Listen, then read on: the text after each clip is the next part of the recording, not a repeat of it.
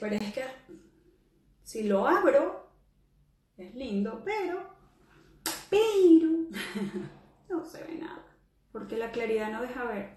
Así que, como que si estuviésemos de noche aquí en España. Bienvenidos a todos los que se conecten. Yo sé que en América ahorita es súper, súper temprano, así que súper agradecida por la gente que se está conectando a esta hora allá. Aquí es las 2 de la tarde. Así que bueno, pues nada, a disfrutar. Hola Lina, bella. Ayer estabas y no te pude saludar. Estábamos tan intensamente hablando con Pollo Fit. Eh, Tomás, ¿cómo estás? Mira, por ahí le mando saludos a José de tu parte. Desde Houston, Melina Bella, te debo un video. Te debo un video, no creas que se me olvidó. Besitos a todos los que están entrando. Noel Luna, bella, preciosa. Sí, sí, te lo juro que te lo voy a ver, no se me ha olvidado. Hola Thaís, ¿cómo estás? Thaís K7, un besito, hola. Eso, póngame de donde, de México. Huesca, oh my god ya soy una adicta. pues yo también. A mí estos lives me encantan porque me nutren demasiado, son lo máximo. Uno aprende todo el tiempo. Mira, hay muchas, obviamente uno sabe este, lo, que uno va, lo que vamos a hablar con el, el invitado y todo, pero todos tienen algo que, que nos nutren. Nunca sabemos todo, nunca sabemos de más. Siempre el conocimiento es maravilloso. Panamá, preciosos. Besitos a todos los panameños que nos ven. Chile, Traemos un argentino, pero está en Chile, para que sepan. Sí, son los más bella, MCDCB. Ya casi que me lo estoy aprendiendo. Hola, Puerto Rico. Hoy Puerto Rico, Colombia, Chile, México, España, El Salvador, o sea. No, que bella desde Florida. Viviana, un besito. Un besito para todos. Eso, desde Argentina, sí, el doctor está allá. Hizo un, eh, o sea, está en Chile, pero es argentino eh, gracias por tus consejos. Mientras yo pueda poner mi granito, yo siempre se los digo, los voy a poner. Soy nueva, saludos desde Madrid. Bellísima, mi chef, Ingrid. Bella. Me encanta que los chefs se metan, porque por lo general no son chefs que están en la onda cetogénica, a veces les están descubriendo y yo sé que eso es un, un shockcito ahí medio rarito, pero este, todo es cuestión de, de abrir un poquito la mente, averiguar, ver. Mi chile amado, que están pasando por un momento heavy, lo entendemos y de corazón, no me voy a entrar en el tema, pero de verdad, mucho apoyo de, nuestra parte, de una venezolana para ustedes. Besitos, mi chef, bella. Este, vamos a ver si el doctor ya se conectó para invitarlo a empezar a disfrutar de este super live que tiene mucha información. Si ustedes, miren, yo les voy a decir algo antes de invitarlo. Les voy a decir algo, si ustedes tienen algo que preguntar de cetogénica, de ayuno, de alguna em, parte emocional que quieran preguntar, este es el live, ¿ok? Este es el live, se lo prometo. El café keto rompe ayuno, ok, ya vamos allí, hay varias preguntas de eso, este, vamos a llamar al doctor, así que pónganse ahí, doctor, miren quién está aquí, del doctor, de ni una dieta más, el doctor Jacobovic. Besitos. Bello. Él es uno de los pioneros con el estilo de vida saludable, yéndose más hacia las proteínas, medio más eh, tipo Atkins, pero fue uno de los pioneros en mi país de alimentación diferente a la que uno usualmente hace. Así que mm, mis más sinceros respetos y tenemos un like pendiente y una respuesta que me tiene que dar. Usted lo sabe. Qué hermoso. Tiene unos videos espectaculares que quiero compartir con ustedes, pero todavía no me he autorizado a ponerlos para compartir.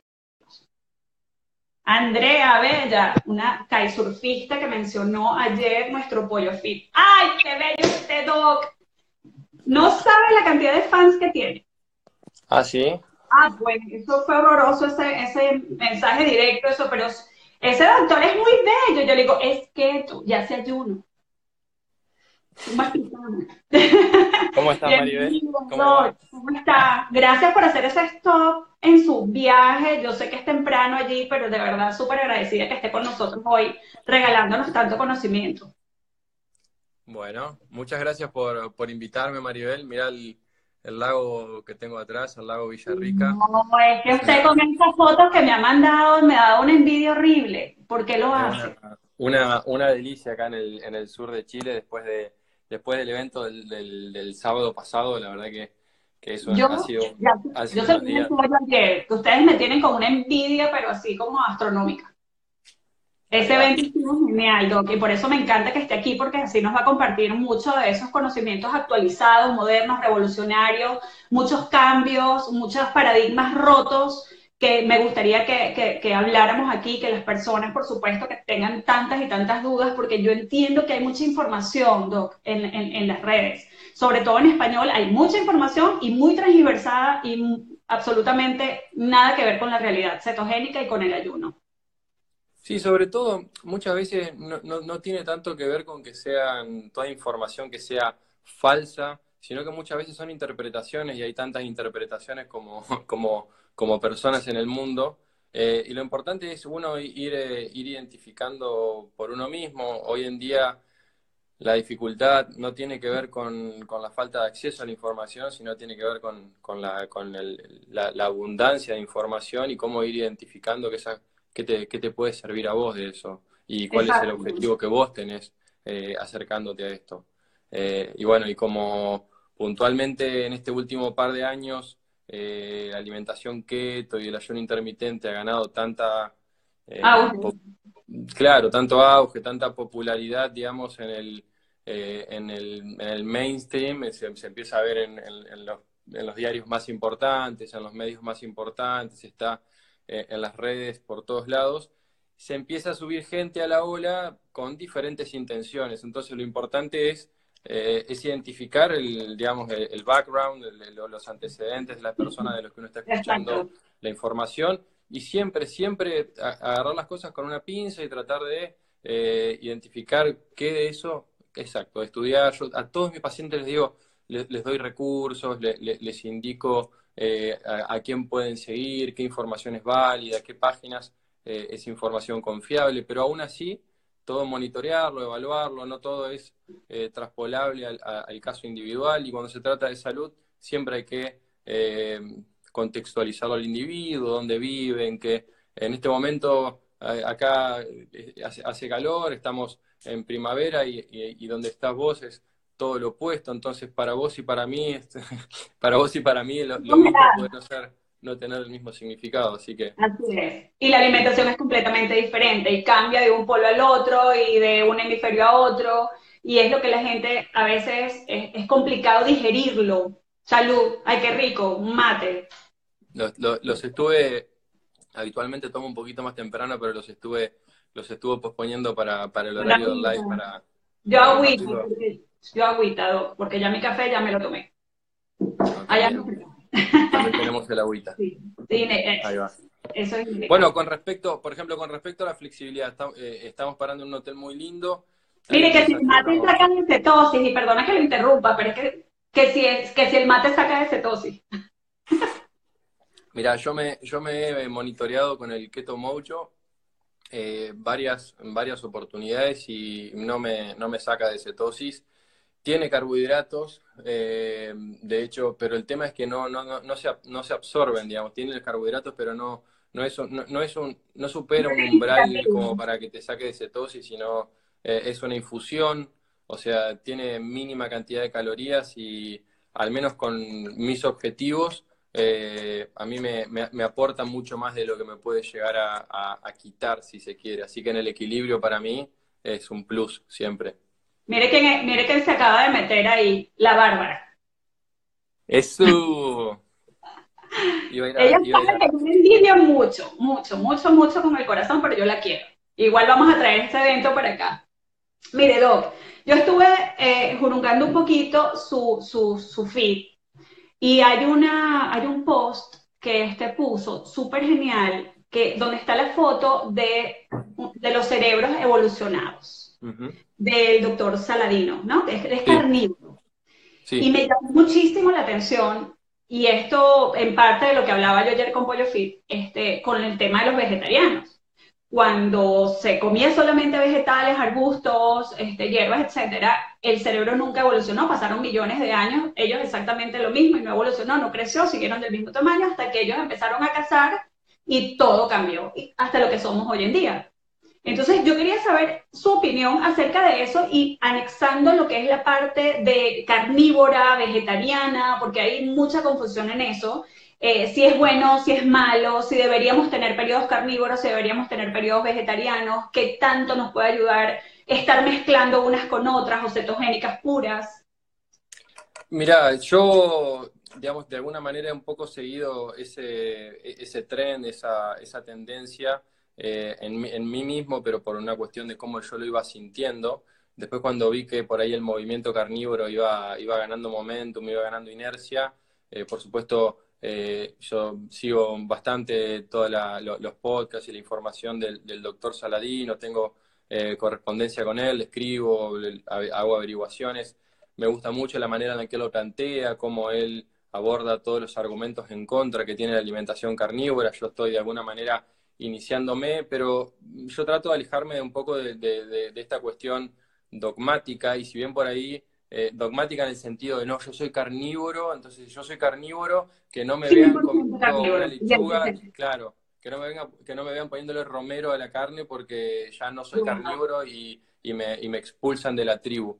Y creo que, que, y creo que eso tiene, tiene una, una, connotación importante, una diferencia con, con gran parte por ahí de, muchas veces del mundo vegano, que con, con, toda esta cuestión moral detrás, hasta con cierta eh, con cierto input religioso en algún punto, si llegan a ver a alguien, digamos, a alguien vegetariano, vegano, por ahí comiendo eh, algo que está por fuera, reciben mucha, mucha crítica, mucha agresividad, y, y, eso es lo que yo creo que un poco nos tenemos que tratar de despegar.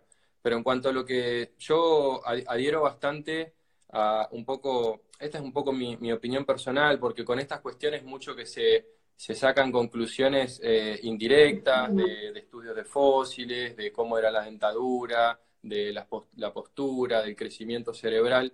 Y creo que el ser, me, gusta mucho el concepto de, Amber O'Hearn, eh, que ella es, eh, es keto, carnivore, ¿cómo, es el, Em, no me acuerdo cómo es eh, su, su, nombre en, Instagram, pero eh, ella propone esta cuestión como que el humano es un, es un carnívoro facultativo y que cuando tiene la chance, cuando tiene acceso a proteínas de alta calidad provenientes de, de origen animal, es lo que tiende a preferir. Eh, y el mundo vegetal se apoya, o sea, proveniendo del, del, mundo vegetal, setas, tubérculos, frutas, vegetales, que pudiera encontrar sobre todo se apoyaba en eso en periodos en los cuales no había acceso a una alimentación más, eh, más proveniente del mundo animal. Entonces es un poco mi approach y eh, en general prefiero que un gran porcentaje de mis calorías provengan de, si bien yo no cuento calorías, no cuento macros en, mí mismo y, trato de no, de no volcarlo en los pacientes. Y acá cada uno tiene un poco su, su, su, approach y en, y en mi consultorio yo trato de hacerlo simple, trato de hacerlo accesible y que no sea algo que termine estresándolos más a los pacientes, ¿no? Eh, pero sí creo que eh, el, mayor acceso, la mayor accesibilidad a la carne, digamos, a los productos de origen animal, eh, al mismo tiempo que iban desarrollando herramientas en el neolítico, neolítico, digamos, iban desarrollando armas, flechas, Esto se ve como una tendencia, digamos, a nivel mundial de cómo en todos los pueblos fueron dominando el arco y la flecha y ante esa progresiva accesibilidad a la, carne, a la grasa sobre todo de, los animales eh, y a la cacería en grupo que implicaba que hubiera un mayor desarrollo del lenguaje, de la coordinación, de, digamos, de cazar con una logística en la cual arrinconaban los animales en un precipicio o los atacaban. Estaba en juego la vida, morían varias personas en cada, en cada expedición de cacería, eh, era una situación de mucho riesgo de vida o muerte, porque era o cazar o, muchas veces ser, morir en el intento o no tener éxito. Es que ese era, el principal motivo de muerte en aquella época, que el animal con el que tú estabas peleando, que por lo general era un tigre, un león, un bicho de estos que obviamente... Grandes animales, o sea... Grandes animales Exacto. Al principio, al principio eh, basó mucho su alimentación en lo que Paul Saladino dice la megafauna, ¿no? Era cazar como grandes mamuts o grandes animales. Entonces ibas a tener, si tenías éxito con una cacería, ibas a tener una disponibilidad, digamos, durante una, una buena cantidad de tiempo y sobre todo iban a preferir, hay como bastante evidencia de que inicialmente iban a preferir acceder a la grasa y comer toda la grasa primero e incluso muchas veces a la carne se lo daban a los eventuales animales de compañía que pudieran tener. Entonces, eh, de hecho, en el movimiento, digamos, de las poblaciones humanas se va viendo también como una tendencia similar a la extinción de muchos de esos animales, de esa megafauna. Eh, y después, eh, esta es como una de las primeras épocas, digamos, en mucho tiempo en el que se ve que está empezando a haber una, declinación en el tamaño de, de nuestro cerebro, del encéfalo, después de muchísimo tiempo, porque eh, el otro día, digamos, en este podcast con, con Mickey Bendor, que es un, antropólogo israelita, y él decía, bueno, una vez que nosotros domesticamos los cultivos, hace no más de 10.000 años atrás, 10.000, 12.000 años atrás, eh, después de ir, desarrollando cultivo y domesticar, un, domesticar el mundo vegetal es más sencillo que, que, digamos, que haber tenido ese acceso o tener que ir a la cacería y depender de esa, de esa fuente de energía.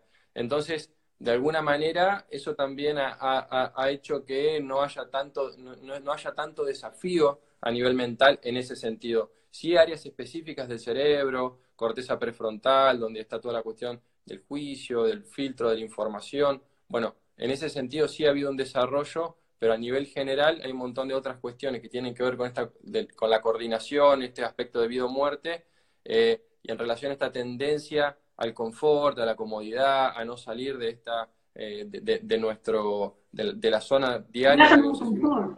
Y, y, tener, y tener incluso la, comodidad como, como, un bien máximo, ¿no? O sea, como que aspirar a la comodidad y al confort, más allá de que en este momento estoy en un lugar súper cómodo que habla totalmente en contra de lo que, eh, de lo que estoy diciendo. Bueno, ayer hicimos un, un cold plunge y nos tiramos al, al agua con Metabolic Mind, Diana y Gombardo y nos tiramos al agua. Realmente yo en ocasiones lo hago de diferentes formas, pero eh, bueno, realmente eh, es, es, importante, es, importante. Y ahí dicen, hablen del ayuno, ¿no? La gente quiere, quiere, quiere, ir al, quiere ir al spot puntual.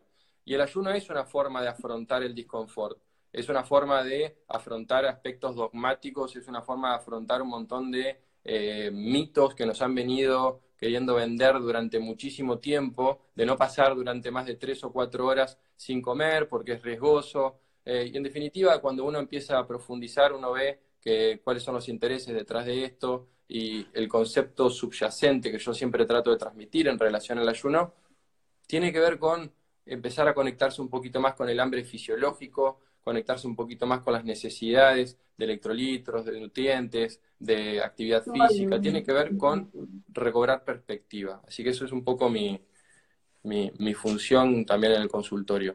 Doc, y eso que, de lo que estábamos hablando antes de comenzar a hablar del ayuno más profundamente, porque mucha gente está súper interesado con el, lo del ayuno, que lo rompe, que no lo rompe, porque hay mucho eh, dimes y diretes, este, todos los que son coach o son médicos o son nutricionistas tienen opiniones encontradas, algunos coinciden, otros no, etcétera. Antes de tocar ese tema del ayuno, pudiéramos estar eh, concluyendo con lo que está diciendo, eh, que todo el modernismo ha hecho que esa zona de confort sea cada vez más grande, de que realmente no pensemos en el alimento como algo que nos va a nutrir, sino como algo más bien emocional, algo que nos va a satisfacer, que este, nos va a hacer más sociables, vamos a ser más aceptados, no vamos a entrar en depresión porque estamos comiendo y por supuesto hay algo que se llama dopamina que no los activa, ¿verdad? No, no, no segregamos cada vez que estamos emocionalmente activos y el azúcar y el carbo tiene que ver con esto. O sea que vamos más hacia la parte eh, social que hacia la parte de nutrición, o sea, como que realmente no vemos la comida como algo necesario, sino como algo indispensable para. Yo creo que esa es una de las consecuencias de la falacia de eh, las teorías calórico-céntricas. Entonces, que te enfatizan que a través de la comida vos siempre tenés que estar obteniendo placer, pero el problema es que eh, si vos tenés una condición subyacente o si vos querés cuidar tu salud, no, no puede ser eh, la idea directriz de tu alimentación, eh, el placer. ¿Está? Y esto es lo que muchos profesionales, muchas veces muy, muy conflictuados, con, o sea, con intereses, con, con eh, argumentos, que, con, digamos, con conflictos de intereses en los cuales se están vendiendo productos con, con porciones controladas de determinada cantidad de calorías, etcétera. Entonces, eh, eso que te dicen, no, vos no te tenés que alejar del placer a la hora de comer, vos lo que tenés que hacer es saber controlarte. Y cualquier persona que haya trabajado con personas adictas o con personas que tengan eh, conductas compulsivas hacia determinados eh, alimentos o, bebidas o conductas adictivas en otros aspectos, el objetivo es el contacto cero. Porque, por ejemplo, una gran comparación que el doctor Robert Sywell siempre hace, tiene que ver, por ejemplo, con el alcoholismo.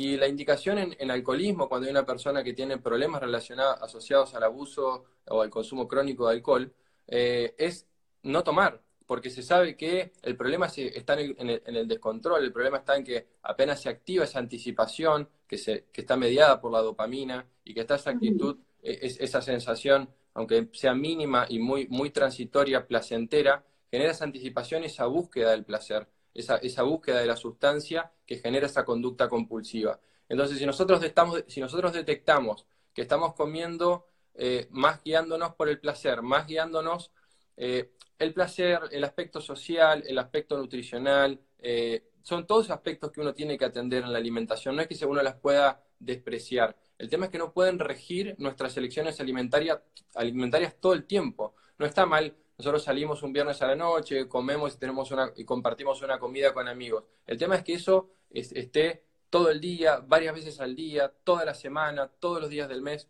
Eso, es lo que eh, luego, digamos, va, haciendo que se componga una, una, situación para cada persona que después eh, a, nivel, a nivel salud genera un deterioro eh, que es difícil de revertir después. Eso es lo que estamos viendo en las personas cuando se salen un poquito, de, digamos, un poco del embrujo de, los, digamos, de, las harinas, del azúcar y esa alimentación compulsiva, pueden empezar a ayunar con mayor bienestar.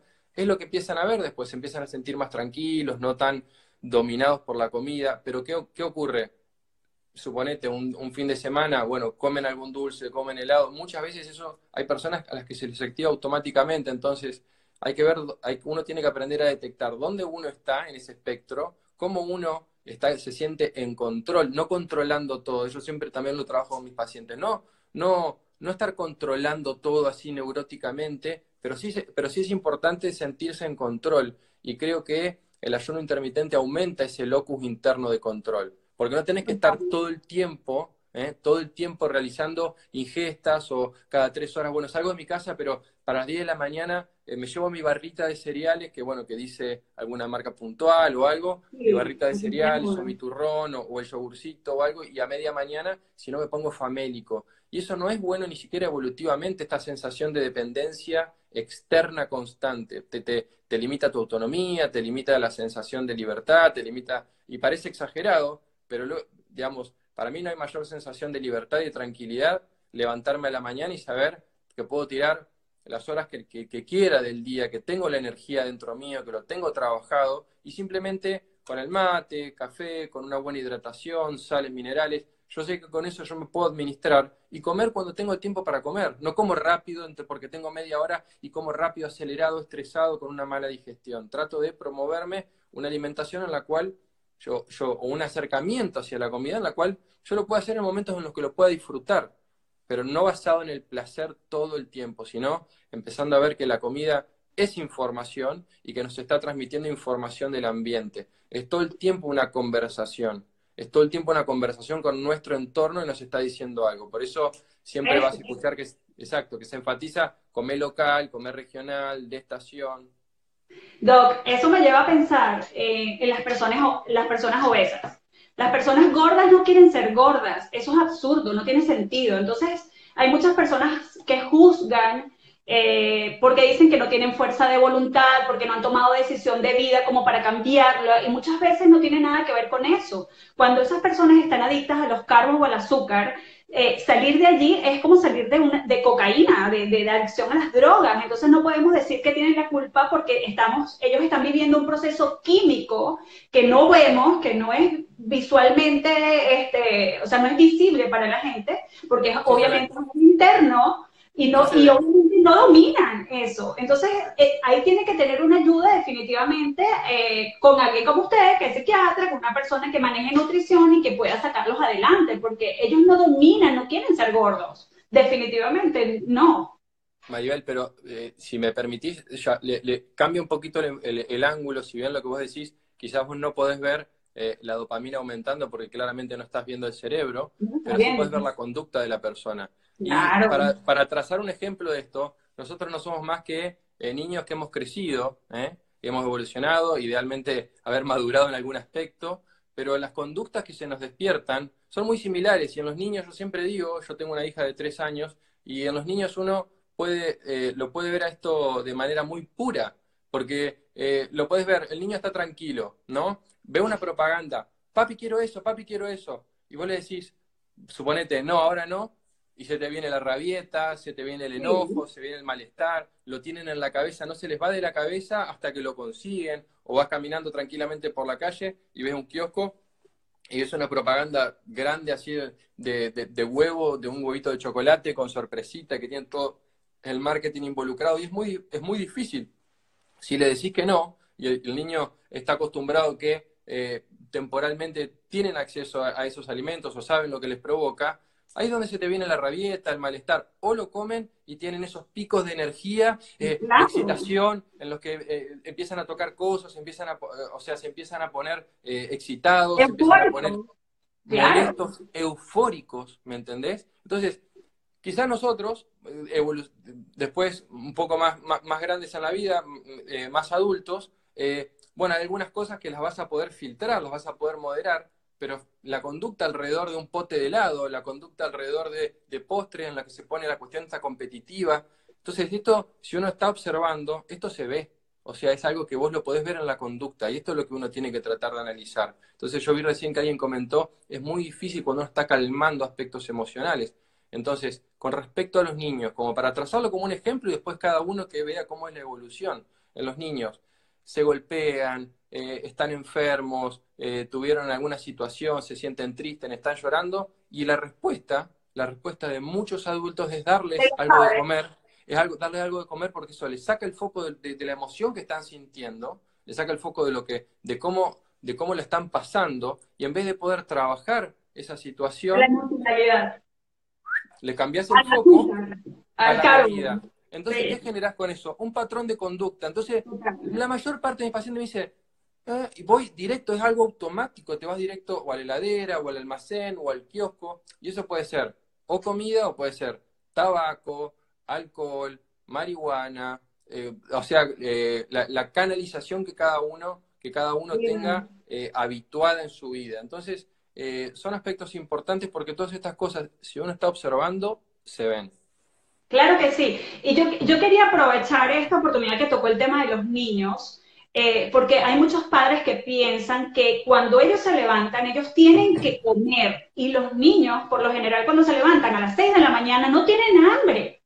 No tienen hambre, entonces los obligan, y sobre todo cuando tienen eh, problemas de crecimiento, problemas de delgadez, que son niñitos chiquiticos, que no se desarrollan, entonces piensan que dándole cosas con azúcar o dándoles carbohidratos y obligándolos a comer hasta el llanto, ellos piensan que van a hacer que ellos crezcan más. ¿Qué pasa con esos papás? ¿Qué les podemos dar de consejo? ¿Qué les podemos decir? Que eh, podemos abrirle los ojos de alguna manera para que ellos sepan que es totalmente lo contrario a lo que están haciendo.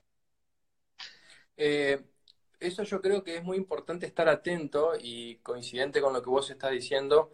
Eh, creo que pasamos tanto tiempo tratando de comer por reloj o tratando de, tratando de comer eh, por sistema en determinados momentos, tiene que comer, muchas veces es para calmar la propia ansiedad del padre, que, del padre me refiero padre o madre, que eh, desde el amor, porque esto también tenemos que tener mucho cuidado, porque si no es muy fácil sentirse culpable, porque estamos tratando, todos estamos tratando de hacer lo mejor posible. Pero es importante, digamos, detenerse, pensar, eh, ¿Qué dice? Está al revés. Somos una sociedad culpabilizadora. Tenemos que culpabilizar a todo y a todos. Es una cosa increíble. Entonces, a, mí siempre, a, mí siempre, me gusta invertir, digamos, esta cuestión de, la culpa. Cuando uno, yo en el consultorio muchas veces eh, estoy trabajando y la persona dice, ay, yo eso es lo que estuve haciendo todo el tiempo, entonces te empiezan a culpabilizar. Le digo, pero esto no es para sentirse culpable, esto es para recibir la información, identificarla, registrar lo que está ocurriendo y responsabilizarse. Porque la culpa de alguna manera te sigue dejando en ese lugar como de víctima, de como, o sea, parece paradójico, pero te deja como en ese lugar de que, ok, soy culpable, listo, castíguenme. No, te responsabilizás y tomás acción. Entonces, por eso eh, eh, es importante identificar esto. Y yo creo que con los niños tenemos la gran oportunidad eh, de permitirles a ellos, permitirles a ellos ir, ir explorando sus propios gustos, ir explorando su propia sensación de hambre. Entonces, ¿qué es importante en, este sentido? a mí me parece que acompañarlos de cerca en cuanto a, cuando ellos tienen hambre, proveerles de alimentación real, no es necesario que tengan una alimentación baja en carbohidratos, pero sí una alimentación idealmente libre de alimentos procesados, que muchas veces se, eh, que, demanda un poquito más de esfuerzo de parte de los padres, pero es una cuestión de hábito y una vez que ese hábito está incorporado, eh, me parece que es un área en la cual es importante hacer un poquito más de esfuerzo y no quedarse en una situación cómoda en la que compro para que mientras, mientras el niño esté comiendo yo me quedo tranquilo. Porque los niños no se van a dejar morir de hambre. Los niños van a comer, entonces, ¿qué pasa? Pasa algo muy similar en el adulto también. A mí me encanta trazar estas analogías porque nos resultan fáciles de entender. De que si el niño, por ejemplo, eh, una hora y media antes del almuerzo come una pavada, come, alguna cuestión, después es muy probable que no coma eh, la, comida que después le presentamos, el pedazo de carne, sus verduras, la fruta. Es muy probable que o, que, o que coma muy poquitito especulando con el postre. Entonces, si uno eh, puede establecer el límite más firme, tanto antes como después, el niño aprende de que no puede manipular o que no puede decidir en ese sentido, porque va a estar siempre decidiendo por, ese, por ese alimento que bypasea, digamos, que va directo al, placer. Hay, algo que está, digamos, intrínsecamente, eh, digamos, integrado en nuestra, búsqueda de, de nuestra conducta de búsqueda de recompensa y de anticipación. Entonces, Ofrecerle dulce a un niño que ya lo tiene entrenado, ofrecerle dulce una sola vez y ya está pegado.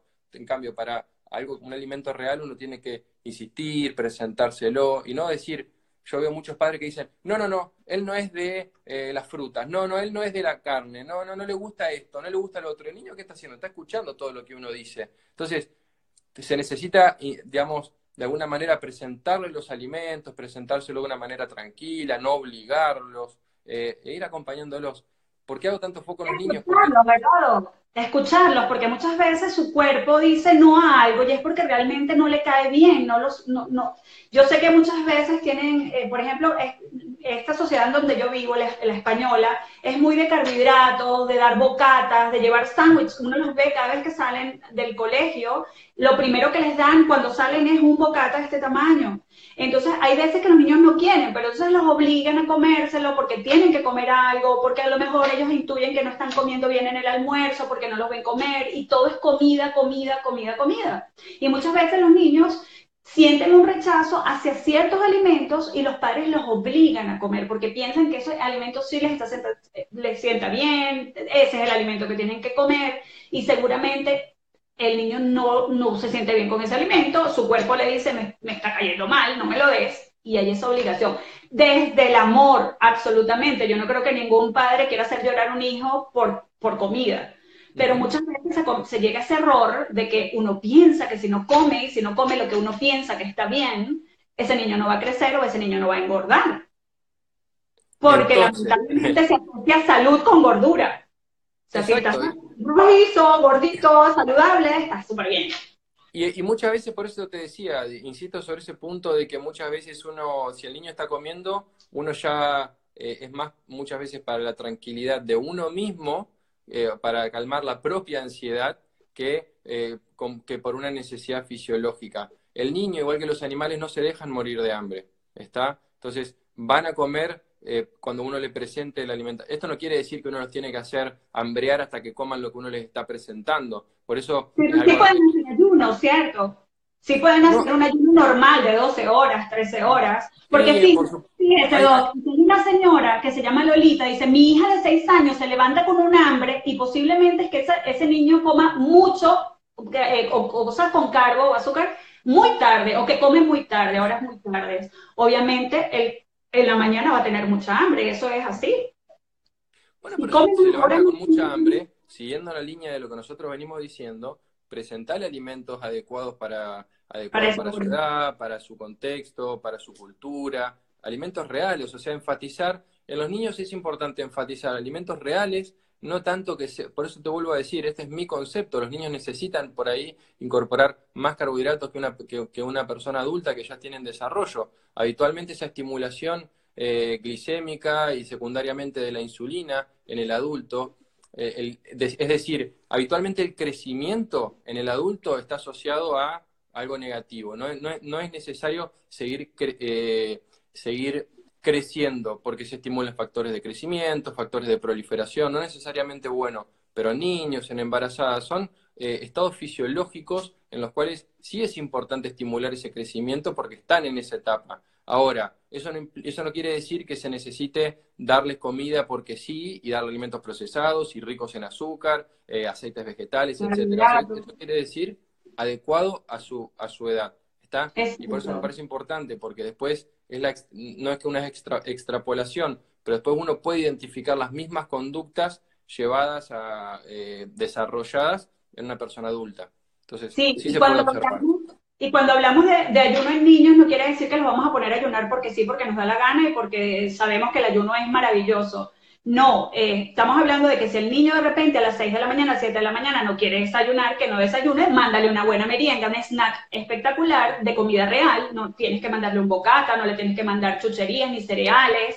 Eh, o sea, sino comida real, comida realmente que lo va a saciar y lo va a mantener hasta la hora siguiente de comida. Porque muchos colegios obligan a, comer en el colegio. O sea, no, no, no, permiten de repente esos tipos de régimen que, como nosotros, que no comemos a veces sino dos veces al día o una vez al día, pero lamentablemente es así. Entonces, un buen snack a la hora 9 o 10 de la mañana, no sé a qué hora es que hacen el snack, ponerle como si estuviesen desayunando, que realmente la, la, la palabra desayuno es, sería buena idea, por supuesto que sí, o sea, y eso también les va a permitir a ellos reconectarse con sus necesidades fisiológicas e identificar el hambre de manera mucho más clara, mucho más criteriosa. Y eso es lo que después uno ve en el adulto. No saben si tienen hambre, eh, muchas veces nosotros no sabemos si tenemos hambre, si tenemos sed, si estamos aburridos, si estamos enojados, si estamos ansiosos. Y muchas veces lo identificamos, pero nos damos cuenta cuando ya estamos comiendo algo o que estamos comiendo de manera compulsiva que no tiene nada que ver con saciar una necesidad nutricional. Por supuesto que también saciar algunos aspectos emocionales no quiere decir que esté necesariamente mal. Esto, la, arbitrariedad para, para, digamos, para evaluarlo es una cosa como para poder conversar al respecto, pero siempre que uno está comiendo hay un aspecto emocional, hay un aspecto nutricional, hay un aspecto social, o sea, tenemos que cubrir todas las patas de lo que es la alimentación, pero no podemos dejarnos regir solamente por la parte emocional y por el placer. Y eso es mi, eh, es mi contraposición más fuerte con las teorías calórico-céntricas que defienden de que no importa prácticamente de dónde viene la caloría mientras vos tengas la cantidad de calorías en el día que vos necesitas.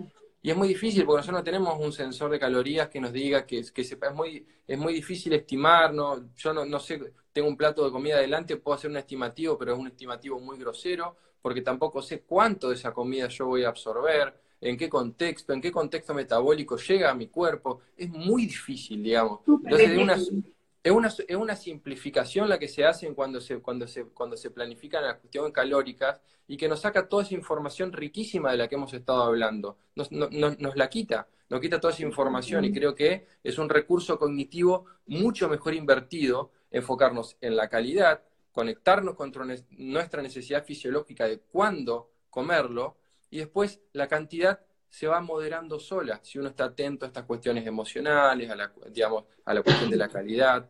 Entonces, es que tenemos muchos alimentos de laboratorio en el supermercado. Eso no es como antes que la comida era de la tierra a la mesa y todo era perfecto, pero ahora todo es, eh, tenemos que ir al Mercadona, al Costco, a los supermercados que cada país tenga. Y lamentablemente dicen healthy, saludable, libre azúcar y todo lo demás, y sabemos que tiene azúcar como maltodextrina, dextrosa, o sea, por Dios, o sea, nos caen a coba, nos mienten todo el tiempo y es, lo, es un porcentaje, es el mayor porcentaje de comida que encontramos allí. Comida real, muy poca. Comida que se supone que es real, como la carne, el pollo, el cochino, eh, eh, todo ese tipo de comidas que no supuestamente no han salido por, por laboratorio, pero que también han sido conservados con azúcar para que no se pudran, para que no se echen a perder, y han sido vacunados, inyectados con hormonas, y lamentablemente ese acceso que se tiene a comida real, a comida orgánica, es costosísima,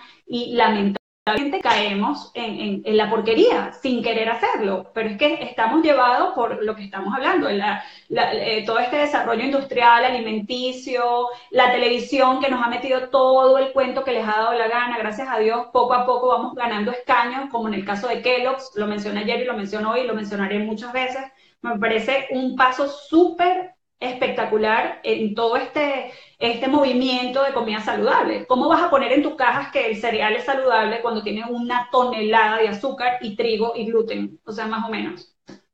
Pero vos fíjate que eh, en ese sentido eh, somos, digamos, de alguna manera eh, receptores de, todo ese marketing y una vez que uno de, uno de los grandes beneficios de la alimentación real, de, de seguir un estilo de vida cetogénico, del concepto detrás del ayuno intermitente, que es esto de no estar comiendo todo el día y escuchar un poquito más el cuerpo y después ir por periodos más, más menos prolongados, eh, prolongados en función de los objetivos que cada uno tenga y no, digo, mi objetivo, mi objetivo en la vida es hacer 16 o 18 horas de ayuno.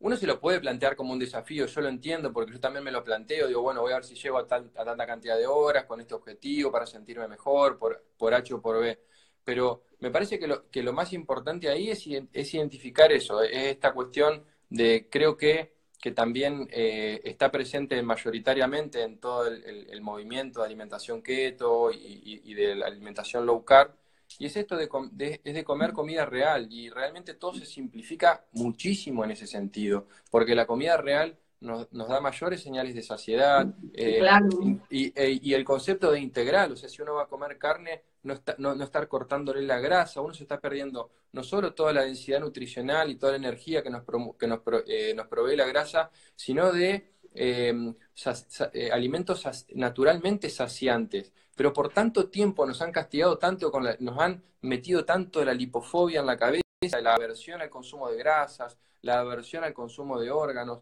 Entonces, hemos llegado a un punto, ayer hablaba, ayer y antes de ayer hablábamos en la, mesa con, con Mike, con Diana, con, con Miriam, con Barbie, esta cuestión de yo les planteaba esto, de, decir, eh, vos, eh, si, les pones, les presentás a una persona una imagen de un helado, una imagen de, un chocolate comercial, de un huevo de chocolate, de golosinas, a, nadie le, genera viste un choque como decir de hecho la gente mmm, qué rico qué delicia se viste todas estas cuestiones emocionales que se nos despiertan y hasta que nos ponemos un poquito eufóricos contentos y ya lo, lo empezamos a paladear y vos le presentás al mismo set de personas eh, un corte de hígado, un seso, eh, chinchulines, morcilla, un buen corte eh, de, carne grasa, y, ay, ¿cómo puedes comer eso? ¡Qué asco!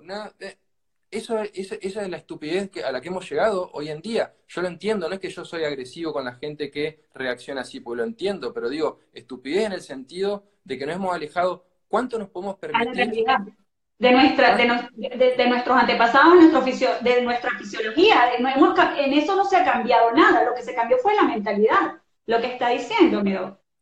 Pero está tan grabado que es algo instintivo y algo que, digamos, un juego de palabras que yo uso, la aversión hacia las vísceras es visceral, viene como muy de adentro, es como que, mm, viste a la gente, pero entonces yo muchas veces trabajo en el consultorio, decir, dale una oportunidad al hígado, hay diferentes formas de, hay diferentes formas de, abordarlo, son realmente y, lo, loco de todo esto, porque a mí me gusta siempre tener en cuenta el aspecto económico y financiero de cada uno, que son los cortes más económicos. Vas a comprar seso, vas a comprar hígado, en muchos eh, corazón, en, muchas carnicerías directamente las tiran. O sea, es una, estamos viviendo en una, en una locura social, pero porque mucha gente ni siquiera, ni siquiera los compra. Entonces, por ejemplo, yo con mi carnicero le digo, eh, Amadeo, presentalo, presentá la carne de órgano acá adelante, presenta el rabo, presentalo ahí, y que la gente lo empiece a ver un poquito más frecuentemente. Eso es también porque yo por ahí posteo carnes de órganos, etcétera, porque me parece que son eh, esos paquetes nutricionales densos, que además son deliciosos, digamos, cuando uno puede superar esa, esa aversión, ¿me entendés? Eh, a la que muchas veces llegamos porque cada vez vamos haciendo más angostas nuestras elecciones nutricionales y lo que necesitamos hacer es generar eh, una maduración en nuestro gusto, realmente ir adquiriendo gustos distintos, permitirnos ir progresivamente explorando cosas distintas en nuestra boca y creo que a nuestro gusto, la manera en la que nosotros estimulamos, y hay un montón de cosas, que, sin, sin, ponerme místico, pero hay un montón de cosas con las que nos reconectamos cuando empezamos a comer, como se supone que eh, nuestro ADN está preparado para comer. Es como un poco omnipotente decir nuestro ADN espera esto, ¿no? Yo trato de no ser tan, tan dogmático, pero claramente hemos estado comiendo vísceras eh, y carne y productos de origen animal durante millones y millones de años y el super mix eh, top eh, chocolatín, que eso estamos comiendo hace 20, 30 años y uno no nos genera absolutamente ningún tipo de reacción y lo otro es como que si fuera la dieta de, la, dieta de los leones, ¿me entendés? Claro, pero es que también, Doc, cuando se estructuraron todas estas reglas de alimentación, por decirlo de alguna manera, tampoco había tanta investigación, simplemente se hicieron este, pues, una serie de investigaciones superfluas, como este loco de Kiss con los, eh, el estudio de los siete mundos, y entonces dijo que el colesterol era malo, ajá, pero entonces ¿dónde está esa investigación a, fondo? ¿A quiénes investigaste? ¿En qué países? ¿Qué condiciones tenían? ¿Cuál era su genética? ¿Qué comida le metieron? O sea, como para decir que las grasas mataban, daban infartos, ACV, todas las este, cardiopatías, etcétera, y decir que los carbohidratos o el azúcar que se estaba generando en esa industrialización, en ese modernismo, pues entonces eso no pasaba nada.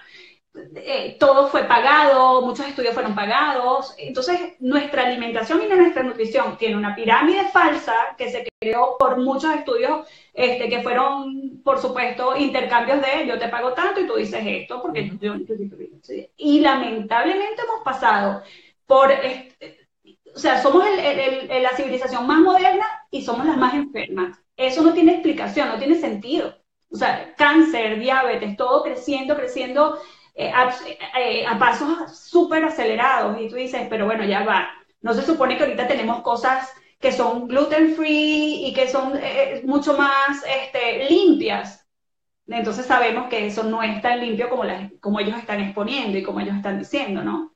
Mari, y, esto sí es importante identificar porque muchas veces yo veo que hay como campañas de lucha contra la obesidad, lucha contra el cáncer, lucha contra la diabetes, ¿no? Como mucha lucha, lucha es como que es algo que nos está, nos está acechando, nos está acechando, nos está matando por millones, ¿no? Como que, como que si fuera una bacteria, ¿no? Que, que, es como un poco esa lógica. Y las enfermedades crónicas, hace poquito eh, puse una historia, digamos, y es algo de lo que me gusta hablar, y las, digamos, el hígado graso, la obesidad, eh, la diabetes eh, y muchas de las, la, depresión misma, eh, trastornos de ansiedad, muchas veces son, son intentos, son intentos de nuestro organismo, de nuestro cerebro, de adaptarnos a un entorno este, extremadamente estresante y obesogénico. Está todo armado de una manera en la cual nuestro cuerpo, que es una máquina de adaptarse, ¿eh? a los estímulos que nosotros le proveemos. Entonces nuestro cuerpo está haciendo lo que mejor hace, lo que mejor hace el ser humano, que es adaptarse al entorno. Entonces nuestra responsabilidad es hacer que el entorno sea más amigable con nosotros mismos. Y que sea más amigable no quiere decir que sea más cómodo, quiere decir que tenemos que desafiarnos, que tenemos que a veces hacer cosas que no nos son cómodas, que nos tenemos que salir de lo que tenemos. Exacto, exacto. Y eso, y ahí está el concepto eh, un poco bajado a tierra el concepto de la hormesis, de generarnos eh, diferentes tipos de estrés que nos permitan eh, que no nos maten, ¿no? Un, estrés que no, que, no te, que no te dañe, que te genere el, el suficiente estímulo y desafío para que en la respuesta compensatoria para que tu cuerpo se recupere, igual que en el gimnasio, e igual que lo que implica el ayuno bien implementado, genera eh, una respuesta de tu cuerpo para que después eh, estés mejor preparado, tengas mejor resiliencia, tengas más, más margen de respuesta, psicológicamente estés mejor adaptado al entorno y no te sientas tanto una bola sin manija como que estoy siendo todo el tiempo controlado por fuerzas externas y devolverte un poquito esa sensación de control. Y creo que todos todas las personas en, un poco en la comunidad cetogénica y del ayuno intermitente, es lo que van sintiendo, que por primera vez en mucho tiempo van recobrando, van recuperando esa sensación de control y con eso viene la gratificación, la mayor autonomía, decir, bueno, ¿qué puedo hacer ahora? ¿Qué puedo hacer próximo? Y eso me parece son conceptos que, que a mí como psiquiatra me, me, me, fascinan, digamos. Me, me, encanta ver a las personas realizar ese cambio. Y esa parte de psiquiatría que me encanta, porque también lo vi en uno de esos posts, donde el, ejercicio tenía mucho que ver sobre la influencia en depresiones, en problemas emocionales. Una persona que tiene una buena alimentación y hace algo de ejercicio, tiene algo de movimiento, tiene muchísimo menos posibilidad de padecer depresiones o, afecciones emocionales a aquellas personas que son sedentarias. Yo entiendo, Doc, y eso mucha gente debe estar diciendo, ay, claro que sí, para la gente que no trabaja, que genial, pero para la gente que tenemos que estar en un, trabajando casi que 12 horas al día, en las madrugadas trabajando y sentados en una computadora, muchos de ellos, donde no se pueden parar mucho, lo que quieren es llegar a su casa, tirar todo, quitarse los tacones o el flu o el paltó, y, ya, y desconectarse, no quiere saber nada, si tiene que comer esto, tiene que comer lo otro, yo puedo entender eso. Sin embargo, creo que, pues ayudaría mucho a que todo eso se lleve de mejor manera si tuviésemos, estuviésemos mejor nutridos, eh, quitándonos las excusas de encima, porque aunque sea 15 minutos, 20 minutos de tu tiempo que le dediques a subir a las escaleras de tu casa en vez de subir en el ascensor, por poner un ejemplo, pues ayudaría, pues full, ¿no? Bueno, hay una investigadora, una psicóloga de la Universidad de Michigan, eh, no recuerdo exactamente el nombre ahora, pero ella dice que hay que capitalizar las oportunidades para moverse. Nuestro cuerpo, así como está diseñado para recibir determinado tipo de nutrientes, también está diseñado para eh, ser estimulado físicamente. Entonces, es una decisión personal. Entonces, yo cuando estoy sentado delante de un paciente o de una persona que me dice no tengo tiempo para ejercitar, lo primero que digo es, mirás televisión. Si vos mirás televisión 15 minutos al día, yo ya te digo que lo que estás haciendo no es que no tenés tiempo para ejercitar, sino que estás priorizando mal. A pesar de lo cual, yo entiendo, llegas cansado de un día de trabajo intenso, estrés, familia, demandas, situación económica, etcétera, y querés sentarte, tirarte en, el, en el, sofá, mirar una serie o, o, engancharte con el celular o lo que fuera, o, en una red social. Pero realmente ahí es donde, donde va la decisión de cada uno. Yo, uno puede poner la información ahí afuera, uno puede trabajar con el paciente, pero siempre hay un, un, un instante de libre albedrío de lo que la persona decide para su propia vida. Entonces, se pueden presentar un montón de beneficios. Yo, yo sinceramente, eh, no necesito que me muestren los beneficios que tiene la actividad física eh, en depresión, no por, no por una cuestión de omnipotencia, sino porque me parece obvio que, la, que el concepto subyacente es este, ¿cuánto nos podemos alejar de lo que nuestro cuerpo está preparado para hacer y está hecho para hacer, eh, sin, sin pagar las consecuencias. Ese es un concepto un, poco más eh, bajado a tierra, es decir, si yo lo, único que hago es camino 20 metros al auto, voy hasta mi trabajo, me siento, estoy 8 horas sentado, vuelvo, me vuelvo a sentar y miro una serie y, me, me, lleno la boca de determinado tipo de alimentos, es cuestión de tiempo que nuestro cuerpo se va a adaptar a eso, nos van a empezar a aparecer un montón de dolores por falta de uso, por falta de eh, una estabilización mecánica de nuestro cuerpo y cerebral. Y es toda una relación bidireccional con nuestro cuerpo. Sino, cuando vos haces un... ¿Por qué es tan gratificante cuando eh, por H o por B vas y haces algo que no, estás, que no haces habitualmente y haces un movimiento distinto y se siente agradable en algún punto? Es un desafío, pero se siente como que estás conquistando una, reconquistando una parte, algo de que tu cuerpo y tu ADN están preparados para hacer. Entonces yo no digo que yo me alejo un poco de, esa, de esas recomendaciones de decir, bueno, se necesitan 30 minutos tres veces por semana. Está bien porque se baja una línea de que es importante la actividad física, pero yo, yo, yo voy mucho más de la mano de, si, Moverse. hacete 10 sentadillas al, antes de bañarte, ¿me entendés? Tirate en el piso y hacete unas flexiones de brazo, movete, conectate con tu, con tu musculatura. ¿Me entendés? yo tengo todos los muebles de mi casa, los, los, traté de, bajar. Yo mido un metro noventa, trato de estar la mayor parte del tiempo bien, bien abajo, porque está todas las cosas las, tengo preparadas para un metro setenta, entonces tiendo a encorvarme, entonces hago, mucho, mucho hincapié en todo ese aspecto, pero una cuestión, no porque, no solamente por cuestiones actuales y presentes de cuidarme, sino también para prevenir y, tener, eh, y, que el paso de los años me trate bien de alguna manera, no es una cuestión de consecuencia. Y está este concepto de que es como una lotería, ¿no? el Alzheimer es una lotería, la depresión es una lotería, las artritis, las patologías autoinmunes son una lotería. Por supuesto que hay un componente genético, pero eh, es como decir, la genética carga el arma, pero lo dispara la epigenética, la dispara lo que uno hace, y uno puede tranquilamente no dispararlo o dispararlo para, en, el buen sentido, expresando el que es un, es un poco todo lo que el mundo del biohacking trata de recuperar, ¿no? Es decir, bueno, de qué manera uno puede acceder a todas esas vías y expresar el potencial y sentirse cada vez mejor. Y Exacto. Eso, eso sí lo, lo, lo, rescato, que, que, me gusta. Claro. Ahora, Doc, la gente pide a gritos hablar del ayuno.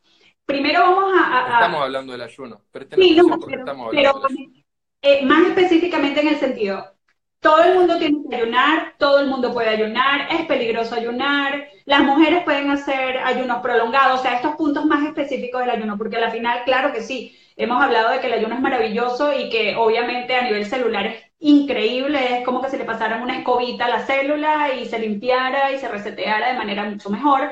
Eh, yo he hablado mucho del omega 6 y el omega 3. Eh, tenemos que, pienso que lamentablemente por todo el bombardeo de omega 6 que tienen los alimentos procesados y los que encontramos en Anaquel, definitivamente algo de suplemento deberíamos tomar porque no nos da los alimentos que tenemos como para compensar y no haya esa inflamación y esa, esa vejez prematura no se dé. Pero entonces, claro, el ayuno nos ayuda a todo esto muchísimo eh, más intensamente. Pero me gustaría escuchar su punto de vista. Con respecto a que, con respecto a la... A Las mujeres pueden ayunar. Eh, eh Por supuesto que pueden ayunar. Por supuesto que pueden ayunar. Acá eh, eh, yo lo que sí quiero es, establecer esta, la cuestión individual. Si bien se pueden establecer algunos principios, a mí me gusta hablar de los principios básicos generales, porque por ahí uno se va mucho en alguna cuestión muy específica, ¿eh? muy específica, y después se puede malinterpretar que eso aplica a mí, eso no aplica a mí. Yo creo que el concepto más importante para recuperar del ayuno es lo que mencionaba antes, es decir, no es, en primer lugar, tratar de reconectarte con esa necesidad fisiológica del hambre. Entonces, eh, o, esa cuestión instintiva del hambre y empezar a conectarse cuando uno está realmente con hambre o no está siendo dominado porque eh, tuvo un conflicto, tuvo una situación y me apoyé en la comida. Pero en mujeres, habitualmente, o sea, hay algunos eh, estudios en, general, es importante decir, bueno, en mujeres, bueno, puede ser un adolescente, puede ser una niña, puede ser una mujer en edad adulta, en, en, edad fértil, puede ser una mujer embarazada, puede ser una mujer posmenopáusica, puede ser una mujer anciana o puede ser cualquiera de estas, eh, eh, digamos, eh, etapas con alguna situación clínica subyacente. Es importante el caso por caso. Hay muy pocas contraindicaciones. Yo creo que he, acompañado y he estado en contacto con, con, varias mujeres que han transcurrido sus embarazos, por ejemplo, que es una de las preguntas más habituales. Es decir, ¿se puede ayunar? Saquemos tanto la palabra, un poco la palabra ayuno. Sí se puede no estar comiendo todo el tiempo. No es, no, es, un requerimiento, es un momento, es una etapa en la cual hay mayores requerimientos fisiológicos en la vida, pero también eh, tranquilamente una mujer embarazada puede hacer 12, eh, 14 horas de ayuno si no se está sintiendo con hambre. Muchas veces les puede ayudar a sentirse mejor y a transcurrir de una manera más saludable su embarazo, de manera mental, en, en cuanto a su tranquilidad, hacer entre dos y tres comidas en un día. Eh, por supuesto que eh, siempre va a haber gente esperando diciendo, vos decís, en alguna situación puntual, bien contextualizado, poder hacer eventualmente algún día, en alguna situación de necesidad, una comida al día. Y yo creo que evolutivamente estamos preparados para hacerlo. Lo recomendaría en una paciente mía, hacer OMAD, hacer una comida al día. Y yo creo que eh, sí tenemos que jugar del lado seguro en este tipo de situaciones y yo creo que, bueno, ¿cuál es necesidad? ¿Cuál es el objetivo en ese caso puntual? Después, en general está como la tendencia a, eh, creer de que las mujeres, eh, de, alguna manera, les resulta más fácil, más sencillo realizar ayunos un poquito más cortos, ¿no? que se llevan mejor con ayunos de entre 12, yo, yo creo que 12 no es ni siquiera un ayuno, pero creo que es una ventana, con una ventana de ingesta más restringida, pero dependiendo cuál es la situación de salud de la persona, porque si es una, si, es una mujer diabética tipo 2, si es una mujer con, con hiperinsulinemia, eh, o que tiene alguna situación puntual de, salud que quiere atender, eh, una, o una patología autoinmune que uno busca eh, generar como un patrón de reseteo, uno puede hacer ayunos más prolongados, yo creo que es totalmente factible pero es importante recalcar que uno no puede por este medio estar haciendo recomendaciones generales, de, porque si no eh, puede haber una persona que captura, ah, ok, puedo, entonces se manda a hacer su primer ayuno de 36 horas, estresan su cuerpo, lo tienen como un objetivo pasándola mal. Y eso creo que es lo que tenemos que tratar de evitar. Se nos va a acabar el tiempo. Me regala 15 minutos después para terminar este, eh, las preguntitas que tenemos y nos despedimos. Dale. ¿Sí? Este, es que nos quedan 12 segundos, pero yo creo que toda esta angustia del ayuno es porque hay mucha gente hablando de ayunos muy extremadamente prolongados y ahorita vamos a hablar de eso.